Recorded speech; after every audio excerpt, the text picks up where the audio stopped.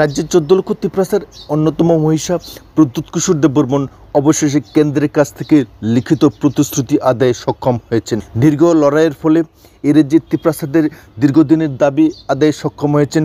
দীর্ঘদিন ধরে এ রাজ্যে বিভিন্ন রাজনৈতিক দল, কেন্দ্র এবং রাজ্য সরকারের বিরুদ্ধে বিভিন্ন ধরনের রাজনৈতিক আন্দোলন, গণ আন্দোলন সংগৃহীত করলেও প্রতিটা রাজনৈতিক দল যেখানে ব্যর্থ হয়েছেন সেক্ষেত্রে সেক্ষেত্রে রাজ্যের অন্যতম বরিষ্ঠ নেতা তথা এ রাজ্যের চোদ্দ লক্ষ তিপ্রাসার ভবিষ্যৎ প্রদ্যুৎ কিশোর দেববর্মন।